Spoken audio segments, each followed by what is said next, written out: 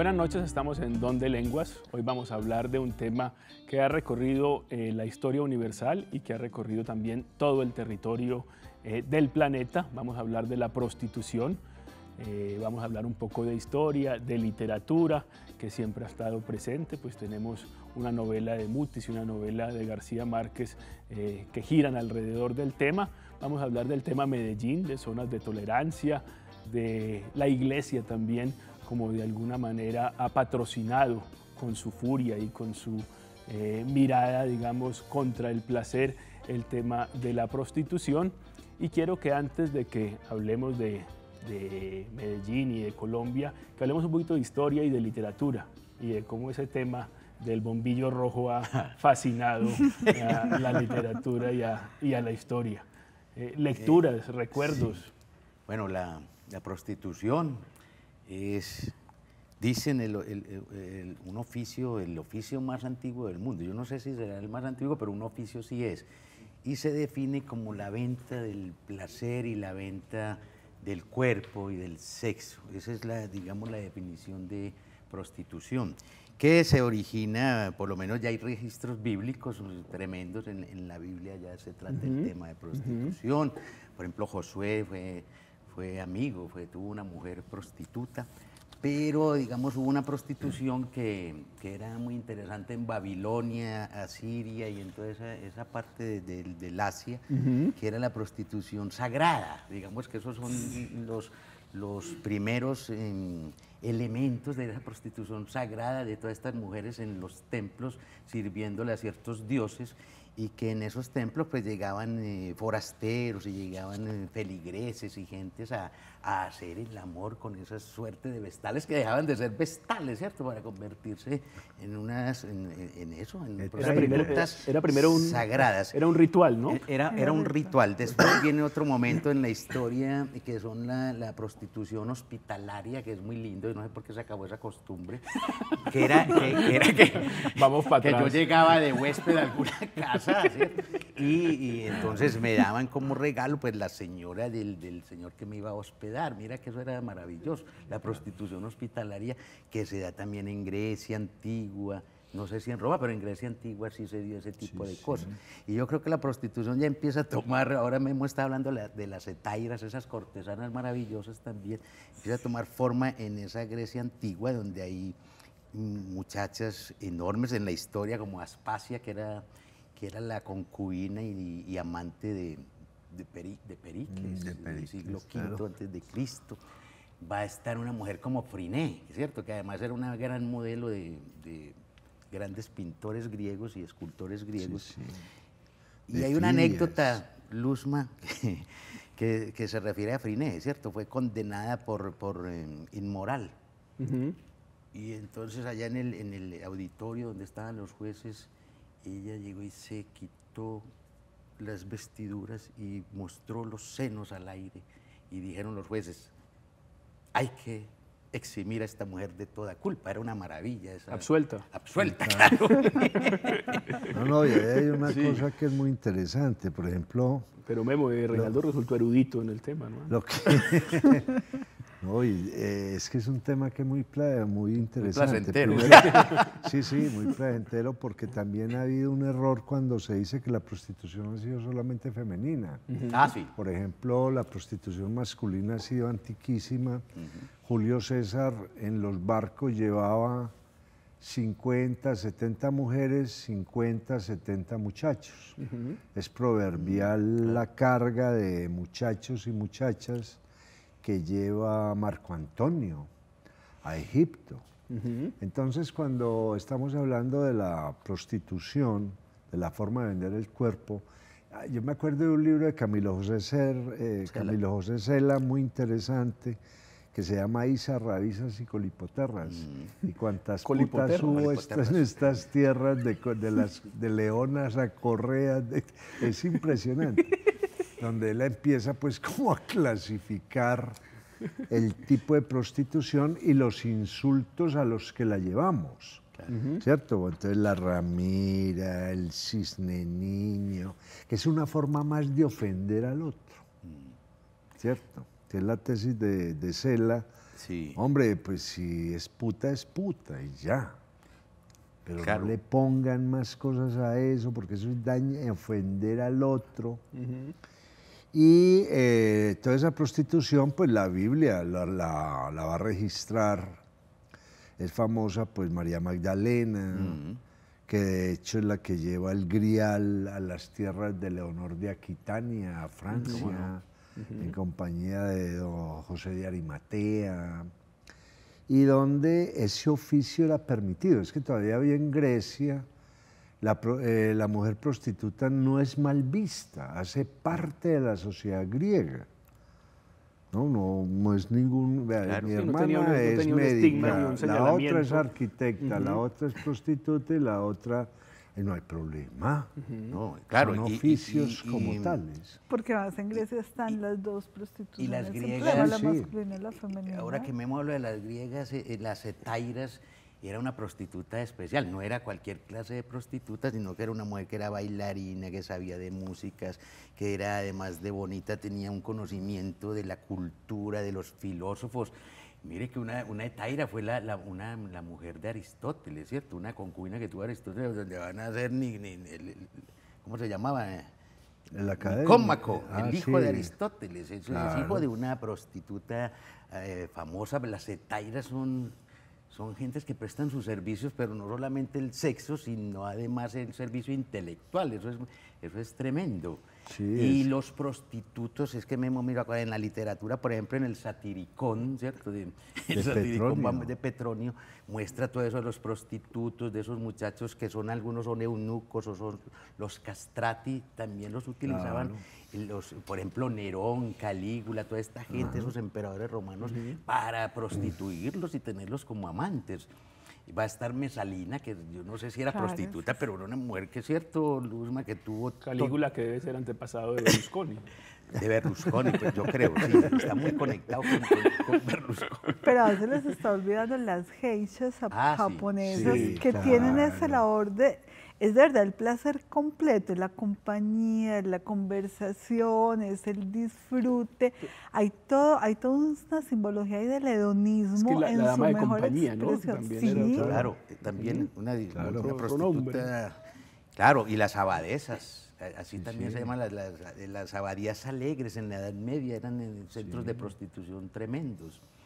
El- no, pero, De pero- hecho, hay un libro muy interesante que se llama la, eh, del, el- del Udún, de, de un- este novelista inglés que Ah. trata de explicar un caso en un convento donde todas las monjas caen presas del demonio Ujú. que de hecho de ahí vienen pues unas mezclas muy particulares que son los íncubos, los súcubos, el incubo como el hijo tenido con el demonio y el súcubo tenido con una demonia.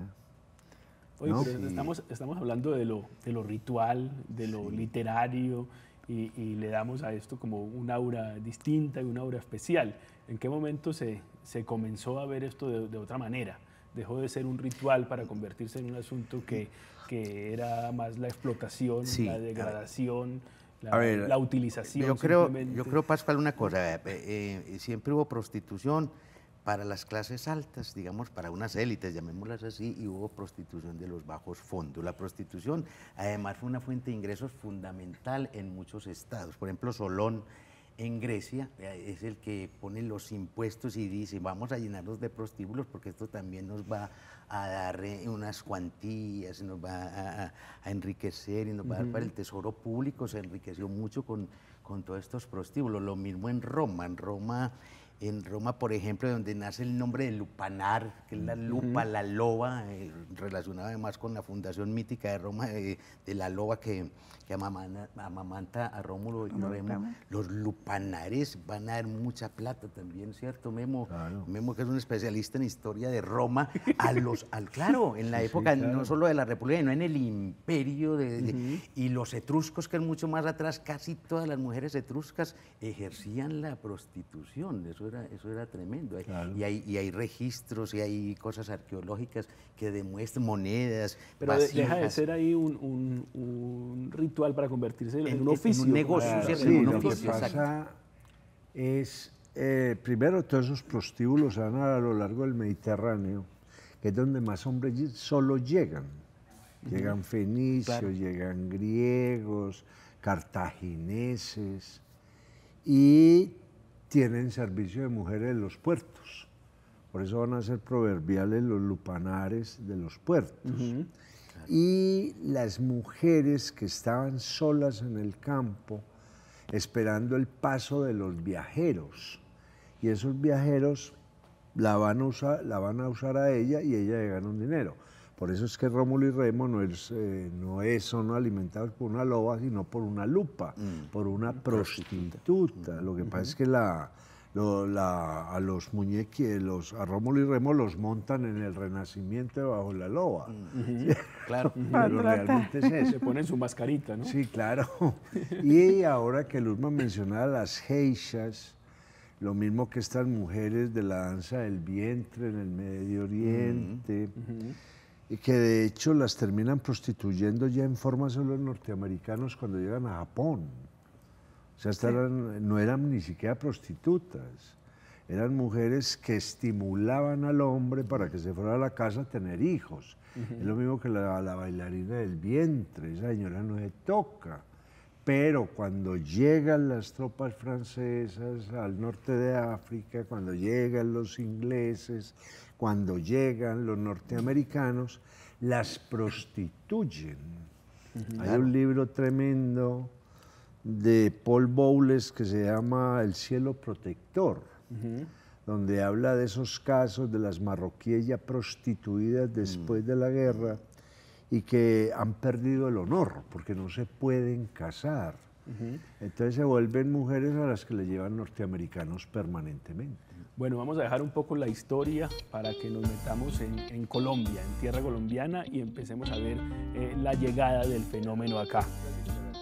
También, también con literatura lo, lo, miraremos en Colombia. Ya venimos, estamos hablando de prostitución en donde lenguas y enseguida vamos a ver los lupanares criollos.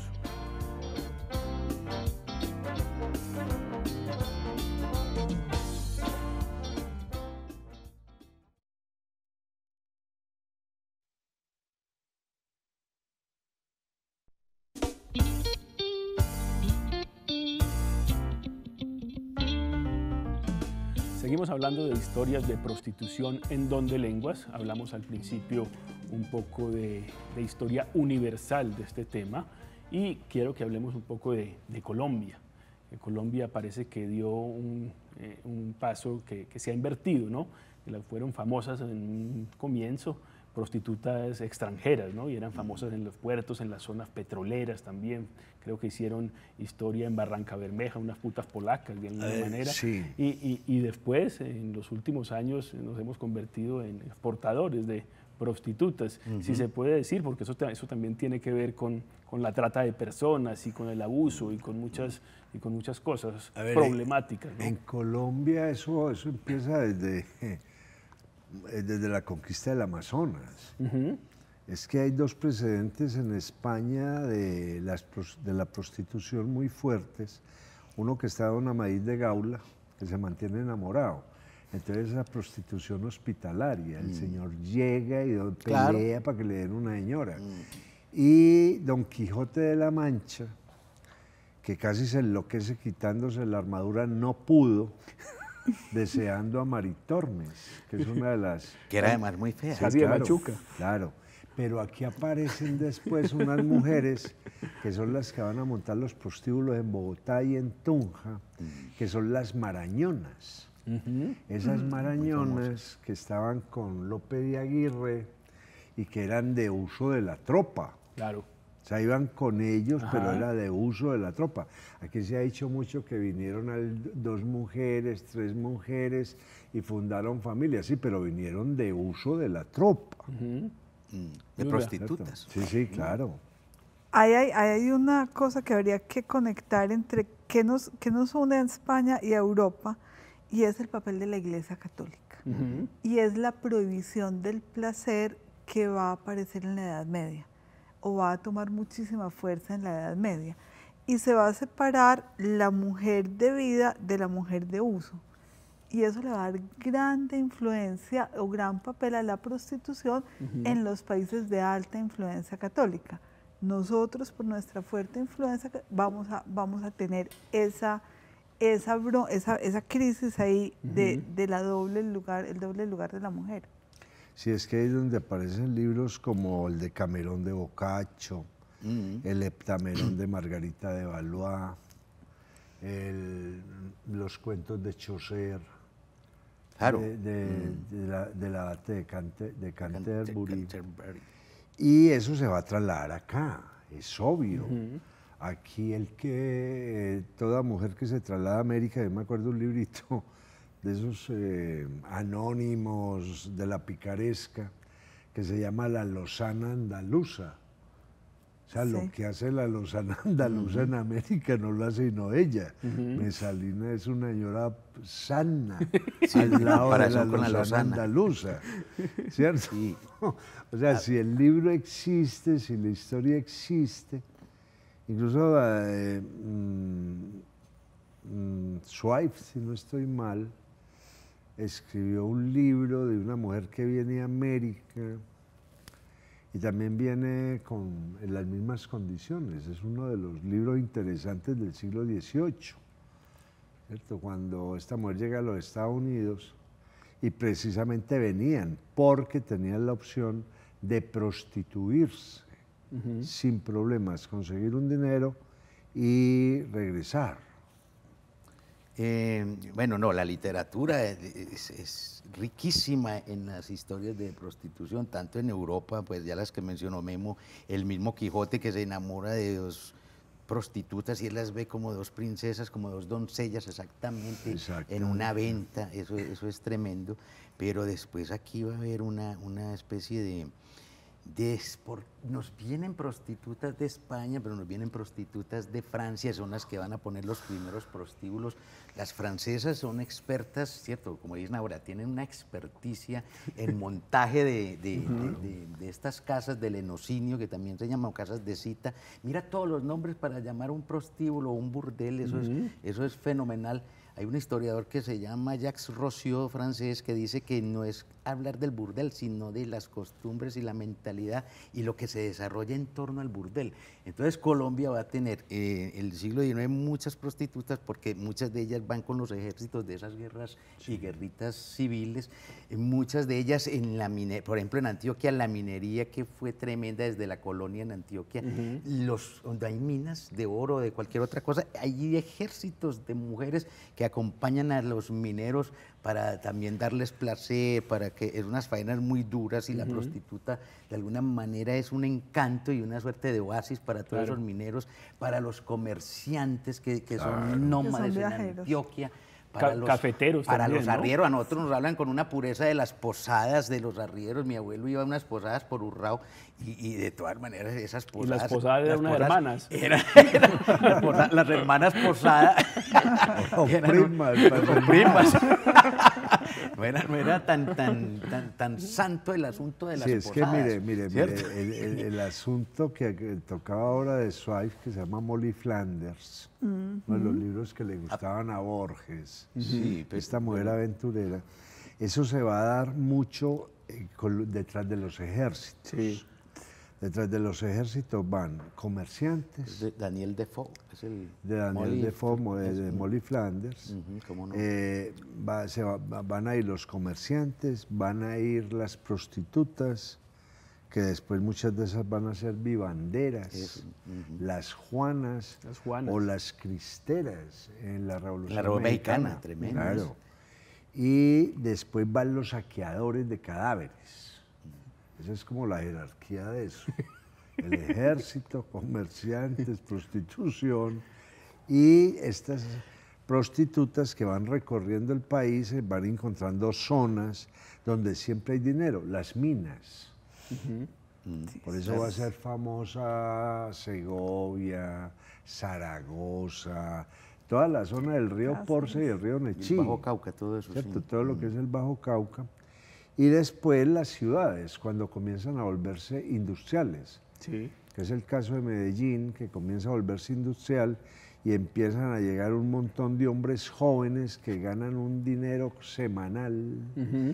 y que no tienen novia, la mamá está lejos y se dedican pues a, a buscar muchachas y a oír tango. Por eso es que gusta tanto el tango, porque es que el tango, la- el hombre le dice a la mujer que lo traiciona, que lo deja tirado, pero es que ese es el oficio de la muchacha con el cliente. Yo soy la mujer que lo va a querer toda la vida, venga y bailemos, le promete amor eterno. El otro se despacha y después llega otro y le cuenta lo mismo. ¿cierto? Y eso va a llenar y, eh, a Medellín de zonas de tolerancia, donde utilizan la literatura para nombrar muchas. Sí. Es que, que las camelias, se llame las camelias, es por la dama de las camelias Claro, y de porque, Ale- y porque, de Alejandro Dumas. y porque Jr., además ahí hijo. Memo, eh, aparte de la Dama de las Camelias, pintaron ahí cerca del Jardín Botánico, pues lo que es Carabobo, un, un- un pintor callejero hizo una- unas flores, las camelias las pinta ahí y, y- y esas flores Y le la dan va- el nombre a todo el, ese es- o la carretero. Pero yo quiero Es que se me- pensar mucho Es que se en me una metieron a lo vaina antes de tiempo. Ah, sí. O la- no. no. o la No, y va- ahí- pero quisiera pensar mucho en una sociedad que prohibió el placer Claro. Y que le prohíbe a las mujeres educadas por monjas el placer, así sea con su esposo. Entonces el hombre antioqueño va a dividir a la mujer en dos. Eso lo explica muy bien Virginia Gutiérrez de Pineda. O va a tener dos mujeres en su vida. Va a tener la mamá de sus hijos, que a la que le prohíben completamente el disfrute y la vida sexual, es una reproductora. Y va a tener su mujer del placer. Y esa mujer no es de ese solo señor, sino que va a acompañar a muchos otros hombres. Entonces, donde hay antioqueños, hay prostíbulos. Y tiene mucho que ver también con esa, con esa ruptura. Los nómadas que son, se van sin la familia, pero, pero también está esa, ese, ese lugar del diablo tan fuerte en la tradición antioqueña y lo que eso va a significar y la fuente de negocios que va a ser. Porque al lado eso van a estar quienes van a entender y van a tener mercado de mujeres. Oye, y la, la cantidad de ejemplos literarios que vimos ahorita en lo, en lo universal, en literatura universal, aquí en Colombia apareció cuando, digamos, novelas primeras que, que aborden el tema. El tema era un poco... eh, Tabú, sí, Claro. sí.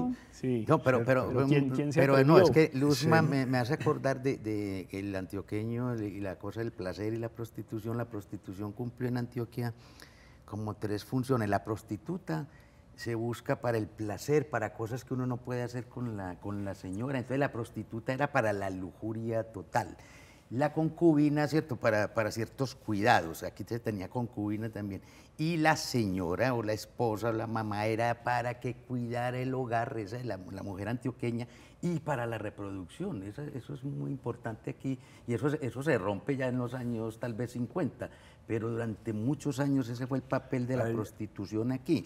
El- el- el- claro, en literatura, por ejemplo, no, no, no es que, por ejemplo, ni en La María hay nada de No, eso. pero mire que Pero en- José Jaramillo Restrepo, José Restrepo Jaramillo, José claro. Restrepo Jaramillo, perdón, que el que Pero es en el siglo de XX. Palestina, tiene un cuentecito que se, Se llama Cinco Minutos de Castidad. Cinco minutos de castidad. Sí. además se cumple por lo que tú es. decías, cuando son sociedades muy ortodoxas, muy, Muy godas. conservadoras del hombre que va donde unas prostitutas y por estar mirando estampitas no es capaz. Y- y- cinco, cinco minutos de castidad son unas, unas cristeras de, creo que de claro, Jericó, sí, claro. y, y que, hacen los lo usa- eh, se llenaban de medallitas de temor de que las contagiaran. O sea, es una Bueno, muy linda. Ya ustedes dieron los primeros brochazos de, de Lovaina. Vamos a hablar ahorita de eso, de zona de tolerancia, de Lovaina, del barrio Antioquia, del tema en Medellín, de dos emblemas eh, puteaderos que terminaron con nombres de empresa para esconderlos un poco, Pintuco e Inextra.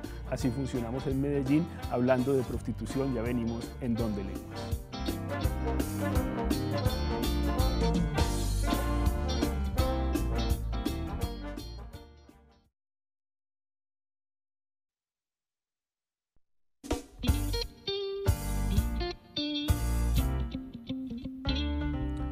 Seguimos hablando de prostitución en Donde Lenguas. Ya nos prometieron que nos van a llevar a Lovaina y al barrio Antioquia.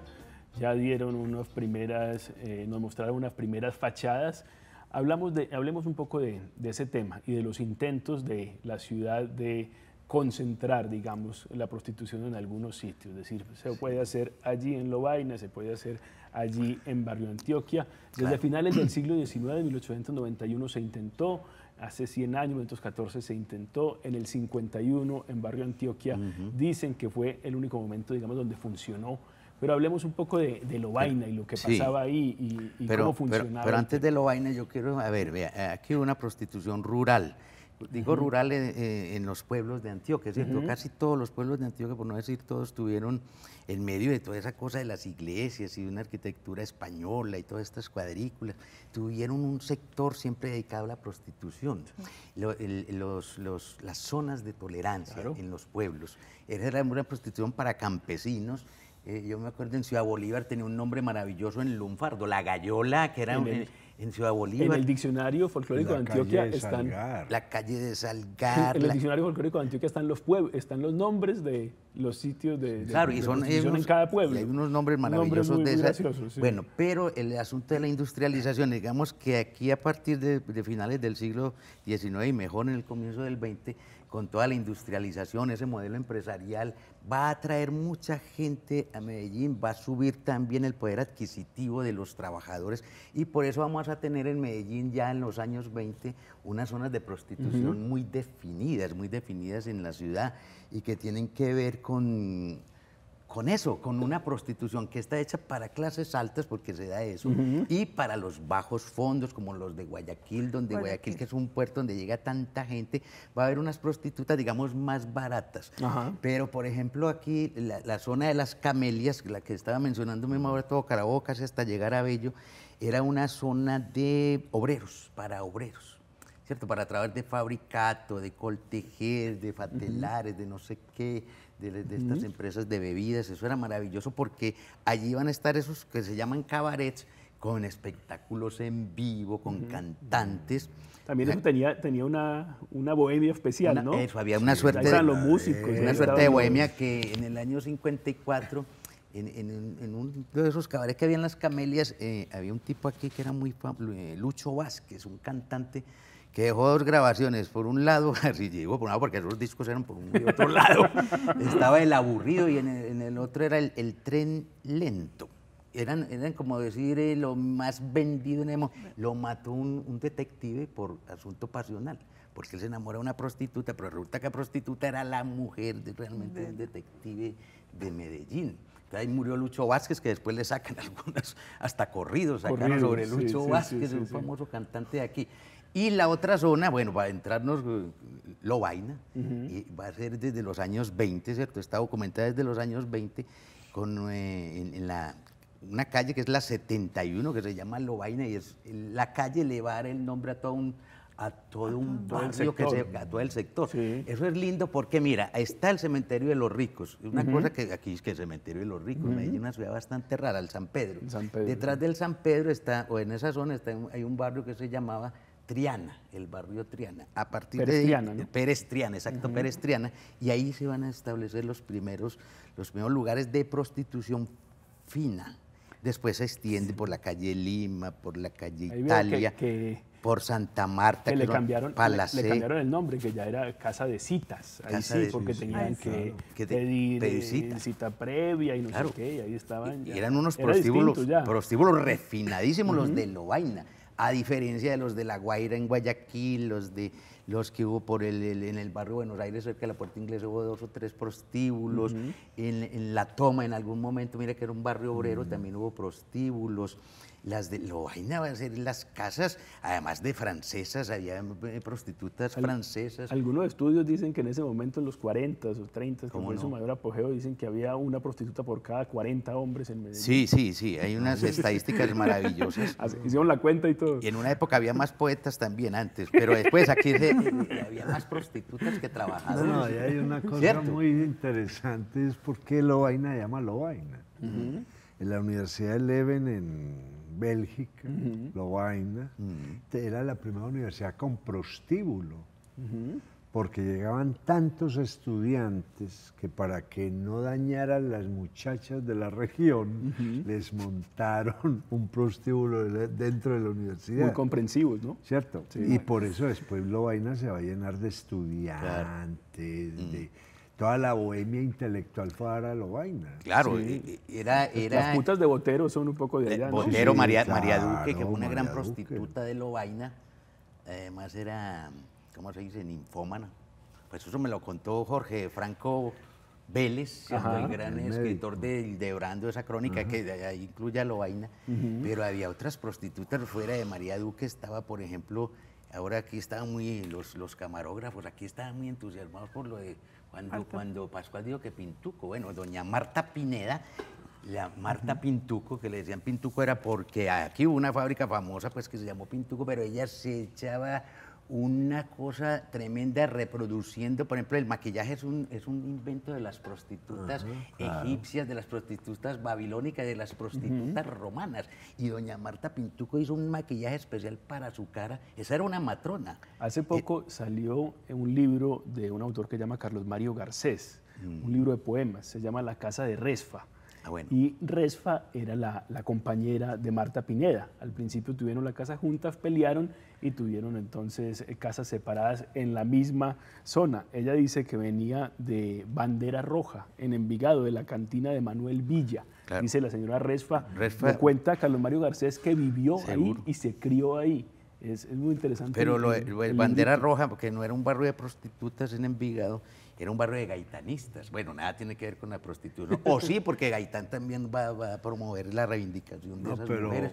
No, pero, pero, pero lo de Resfa, yo conocí un prostíbulo de Resfa porque hice un trabajo sobre, con Mario Escobar Velázquez Sí. en ese prostíbulo de Resfa, la casa de Resfa, hicimos unas entrevistas con prostitutas. No, para mí me parece que no, debe- no debemos dejar pasar a Lovaina porque va a Sí, ser sí, un barrio clave en los, en los 40, es la gran fiesta, Pero- es donde llegan los presidentes, donde llegan los intelectuales, Los donde llegan gente como periodistas famosos de la época como Calibán del tiempo, donde además hasta García Márquez va a estar allá. Es, esa es la ruta obligada de la prostitución, que no, la gente no iba solo a...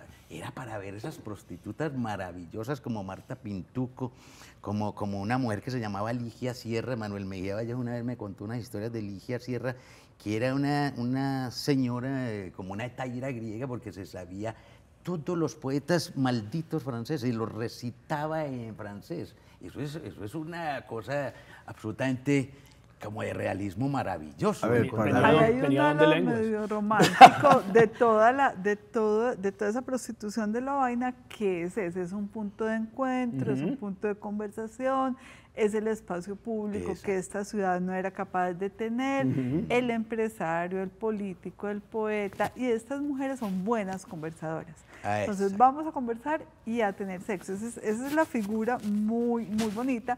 Estuvo Rosa, yo nunca supe Las apellido coperas, de ¿no? Rosa, que era el lugar de ir a comer y eh, las mejores comidas de Medellín se hacían donde Rosa.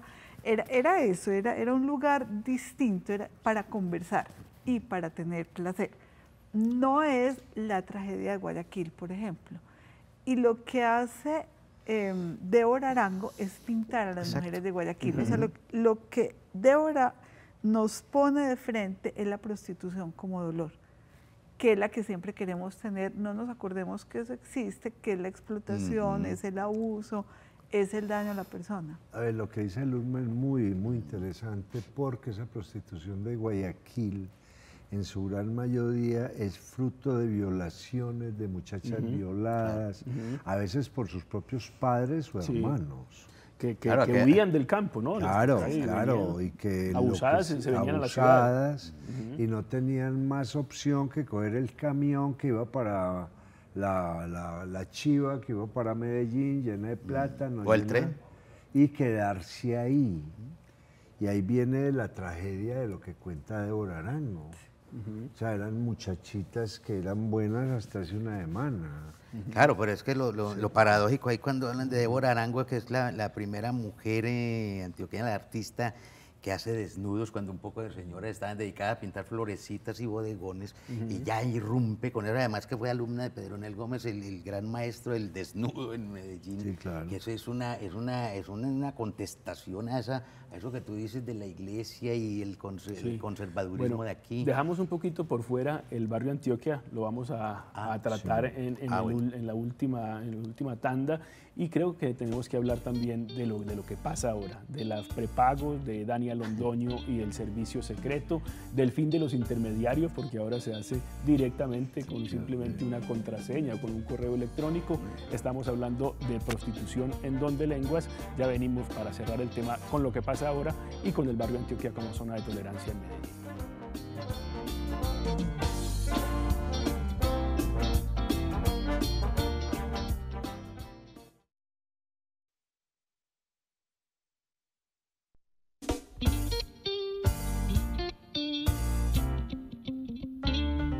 Volvemos en Donde Lenguas y prometimos la visita al barrio Antioquia y hablar un poco también de lo que pasa ahora, de las famosas prepagos y de Medellín, que se dice también es un destino de turismo de prostitución. Memo. A ver, antes de, que entremos en el tema, ahora se tocaba aquí a Pedronel Gómez. Pedronel Gómez en el mural que tiene en la estación Berrío le hace un homenaje a las prostitutas. No solamente está la historia del tren, de la energía, sino que están ellas como parte de la ciudad y como parte de la ciudad la calle Boyacá, porque la calle Boyacá era la calle real de Medellín, mm. por ahí se salía o se venía de Santa Fe de Antioquia. Y esa zona de prostitución ahí es realmente parte de la historia constante de Medellín. Por eso esa señora no van de ahí.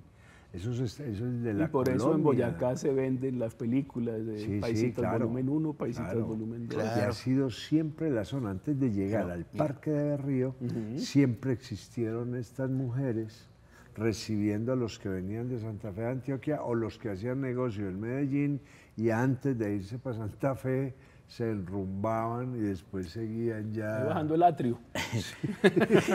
no más. A, mí me llama mucho la atención, Luzma Memo y Pascual, el asunto de que en 1940, en esa década tremenda aquí, había nueve zonas de tolerancia. Cuando digo zonas de tolerancia, son eh, admitidas por el gobierno local, ¿cierto? Por la alcaldía, que además ganaba impuestos. La mayor era la de Loaina, pero había otras zonas muy cerca de, bueno, la de Guayaquil, La Guaira, lo que mencioné ahora, la toma, pero es que eso es increíble, una ciudad tan conservadurista como Medellín, tener nueve zonas de tolerancia, y eso va a llevar a, una serie de, paradojas y de contradicciones. Que la Medellín en esa época, pues yo he revisado prensa de la época y, se va a catalogar como la sucursal de Sodoma y Gomorra, Medellín, ¿no? Exactamente. Y entonces eso va a llevar, por ejemplo, el barrio Prado, que es de la élite de Medellín en los 40, va a tener ahí, uno pasa una cuadra y estamos en Loaina, además muchos habitantes, habitantes de Prado van a, la Loaina, pues que la tienen ahí, de noche van sabroso, yo no sé, eso es interesante. El Edén era en el bosque, el Edén era de los baños públicos, ¿cierto? Era otro, otro sitio de prostitución, el Fundungo, bueno, aquí había nueve zonas el, Fundungo era maravilloso, pues, según los relatos. Lo, del barrio Antioquia yo creo que es, sí, entonces tiene que ver con convirtió el, el, barrio Antioquia en un sitio distinto. claro, entonces llega un alcalde, un alcalde eh, como de un dictador suelo, diría yo, que era un industrial además, Luis Pelay Restrepo, en el año que tú dijiste ahora, 1951, en septiembre, saca un decreto que de donde dice todas las zonas de tolerancia de Medellín las vamos a mandar para un barrio. ¿Cuál barrio? El barrio Antioquia que era un barrio en ese momento aislado, lejísimo, que solamente tenía una entrada y una salida, por supuesto, nomás. Y entonces les pareció estratégico enviar a todas las prostitutas, entonces llegaron volquetadas de prostitutas allá, eso se armó la, la, de San Patricio, como dirían.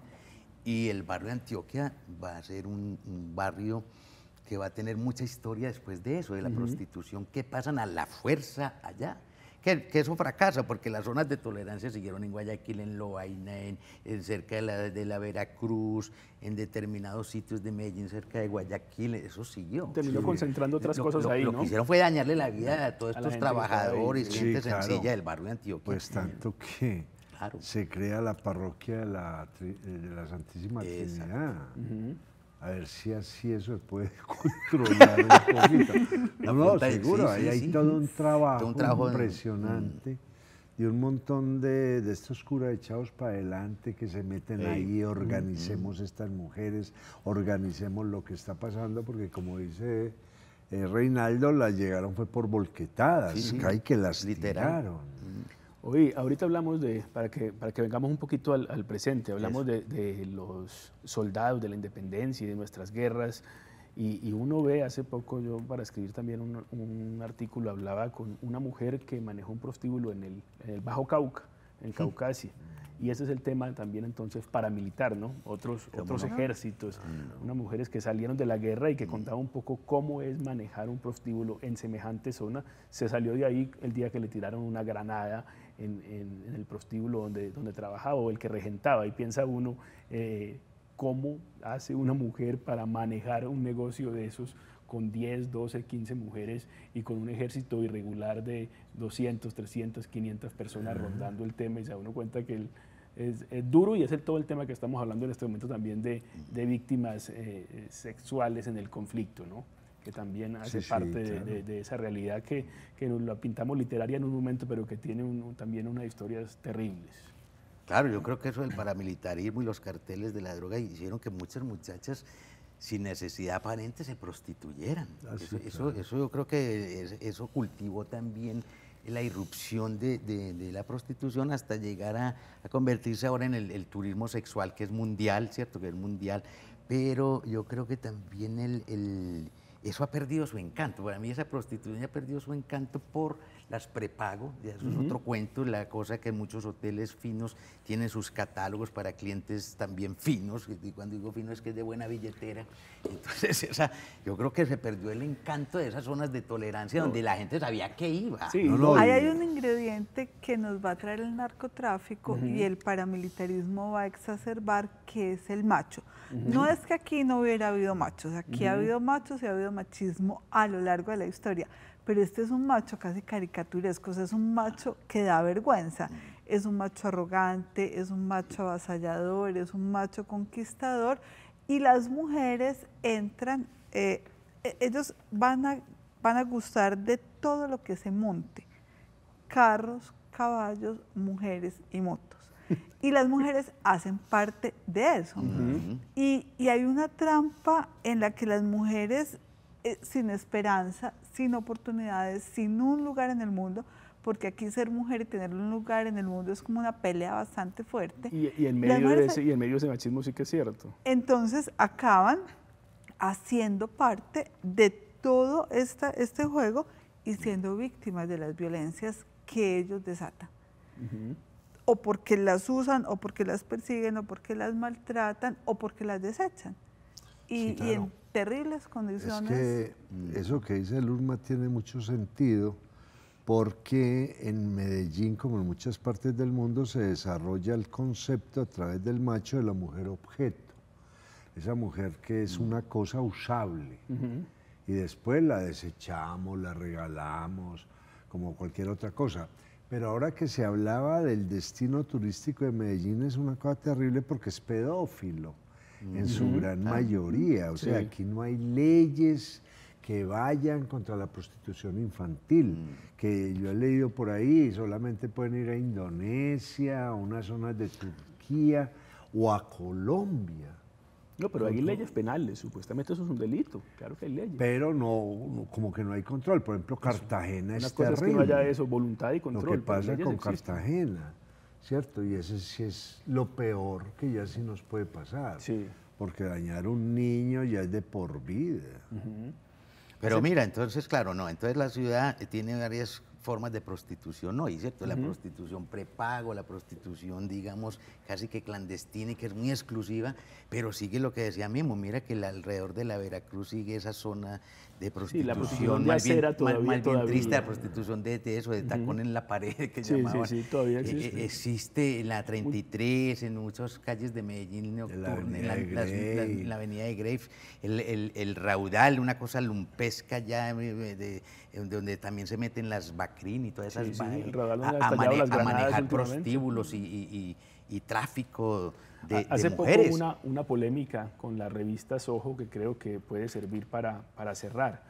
Y es, ellos hicieron un ejercicio que fue muy criticado de llamar a unas de estas mujeres que son prepago y simplemente no necesitan intermediario, ellos entregan Mm. un correo y, y este me la, la citaba cuando llegaban decían, no, la necesito es para unas fotos, al fin no, no vamos a ver nada, sino simplemente se desnuda, yo le voy a tomar unas fotos y lo que hicieron después es publicar esas fotos y decir, vea, esto es lo que ella ofrece y lo que ella supuestamente vende y esta es la mujer real que, que llegó. Y, y se da uno cuenta que, que incluso la revista Soho de alguna manera publicando, engañando a estas mujeres por ir allá, publicando unas fotos sin su consentimiento, poniéndolas ahí, eh, también uno cuenta que, que se puede llegar a, a extremos fácilmente y claro. que- y que la utilización está, está permanentemente en, en- en este cuento, o sea, que no es, que no es un cuento de, eh, literario, sino de abuso también en muchos casos. ¿no? No, y ahora hay otra cosa que es clara, pues eh, la prostitución, tanto femenina como masculina, es producto de la pobreza, es producto de la falta de educación, es producto de sociedades donde el otro existe como objeto de uso. Sí, pero creo Memo, que cada vez, eh, digamos, mujeres o, o jóvenes o pelados que, digamos, están un poco más arriba en ese nivel de pobreza se pueden meter en el tema. O sea, yo creo Sí, que ya claro, no es solamente es un asunto de, de pobreza. Lo que hemos hablado de la sociedad esquizofrénica. Tal vez de, tal vez de, de oportunidades y, y de, y de sentido, ¿no? De encontrarle sentido. Eso de un lado. Y segundo, que te estén ofreciendo tantas cosas que no puedes comprar, que para una mente mal educada se vuelven objetivos. Yo tengo que lograr eso que me ofrecen y como no tengo, me prostituyo. Es que hay algo que, que es claro en las sociedades donde no hay futuro. Cuando no hay futuro, hay cuerpo. Así Claro. de simple. O sea, ¿qué pasa con Herodías? ¿Cierto? Con Salomé. Claro. Ah, listo, no hay con qué pagar la cabeza de Juan el Bautista. Venga, yo le bailo. Bueno, señores, creo que eso fue todo en nuestra noche de prostitución en, don- en Lenguas. Creo que hablamos un poco de historia y de actualidad. Los dejamos entonces con eh, lo que se conversó hoy en Donde Lenguas. Eso fue todo. Buenas noches. Muchas gracias.